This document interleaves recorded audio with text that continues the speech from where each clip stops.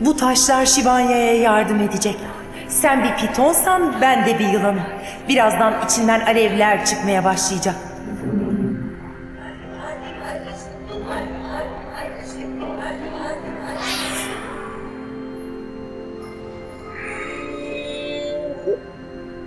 Sana gideceğini söylemiştim.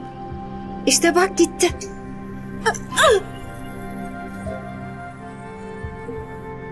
Hadi. Gidip dua edelim. Karısı olmadan dua törenini nasıl yapacak? Karının sana katılmasını beklemen gerek. Ve ben o değilim. Ne yapacağımı bilmiyorum. Onu bir süre oyalamalıyım. İnsanlardan nefret ediyorum ama bundan başka bir seçeneğim yok.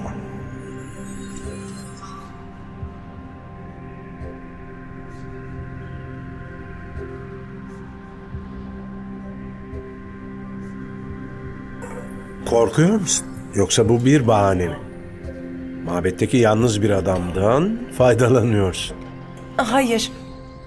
O kocaman pitonu gördükten sonra birinin bizi takip ettiğinden şüpheleniyorum.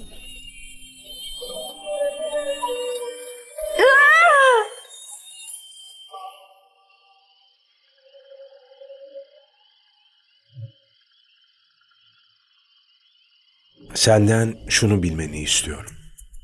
Son nefesimi verene kadar senin yanından asla ayrılmayacak. Ne tehlikeler, ne düşmanlar, ne de felaketler sana zarar verebilecek. Çünkü senden önce hepsinin karşısına ben çıkacağım.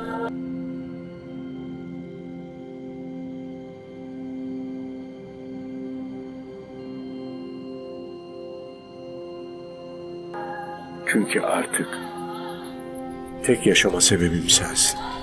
Sen değilsen ben oyum.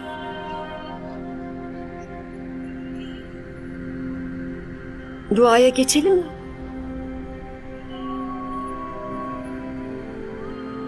Evet. Geçelim. Şivanya neredesin?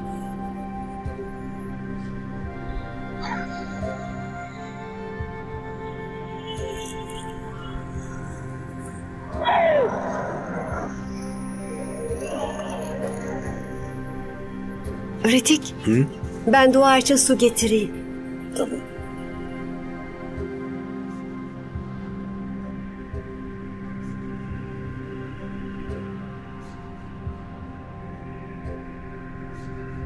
Seşra. Şivanya, hadi al şunu ve hemen mabede git. Ritik orada seni bekliyor.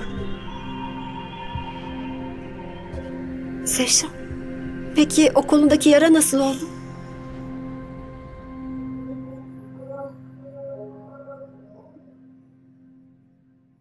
Sanki biri çizmiş gibi görünüyor. Şey, aa, Ritik, biliyorsun beni sen sanıyordun.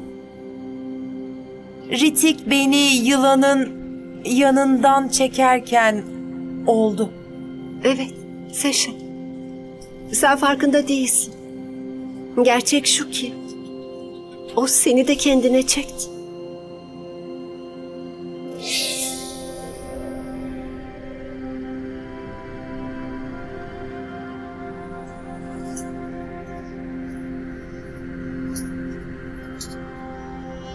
Evet.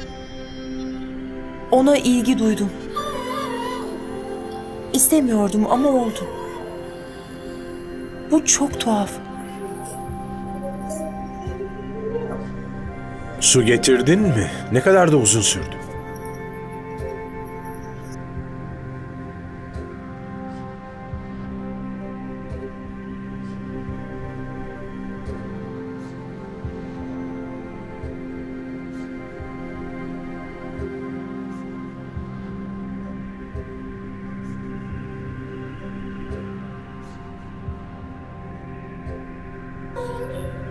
Şivanya.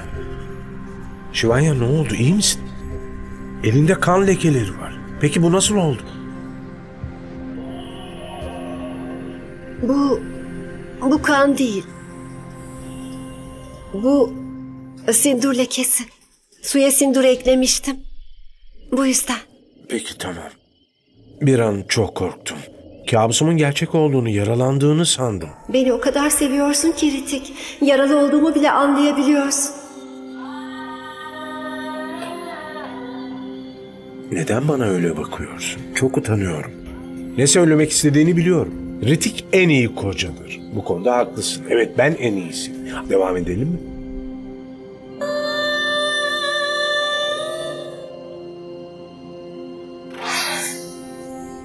Gidelim mi?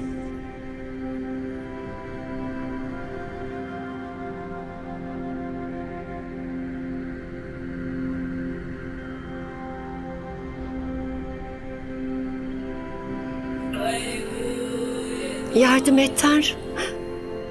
Ne olur yardım et. Beni kurtar Tanrım. Bana yardım et. Hayatımı bağışla. Sen hepimizin Tanrısısın. Yardım et Tanrım. Yaşamak istiyorum. Tanrı sana yardım edecek. Çünkü Tanrı her zaman sıkışan kuluna yardım eder.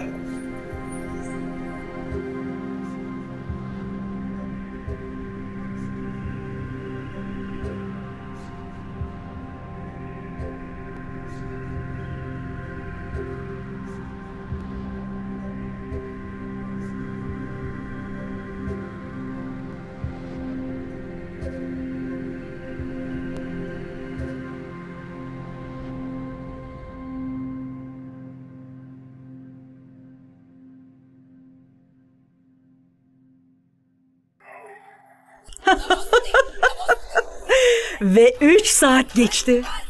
Yılan süren sona erdi. Bitti yılan. Ölüyorsun.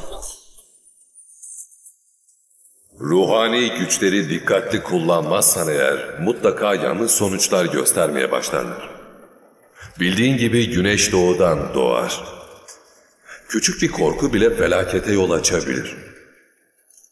Eğer saldırıların bu şekilde başarısız olursa, o zaman yıllardır sahip olduğun ruhani güçlerin de bitecek. Yılana yaptığın saldırıların başarısız oldu. Artık şekil değiştiren senin önüne bile gelse onu asla tanıyamayacaksın.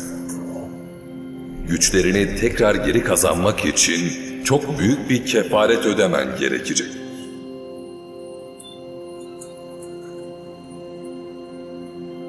Ama neden böyle söylüyorsun Bilge?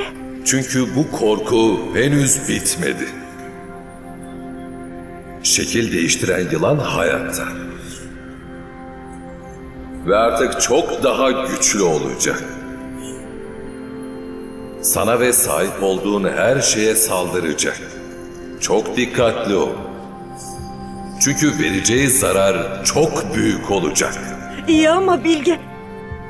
Bu imkansız. Daha fazla video izlemek için kanalımıza abone olabilir, ilk izleyen olmak isterseniz bildirimleri açabilirsiniz.